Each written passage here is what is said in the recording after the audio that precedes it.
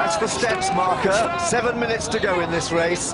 And once they get round this little corner here, which is still in Cambridge's favour, what's happened? Cambridge stopped.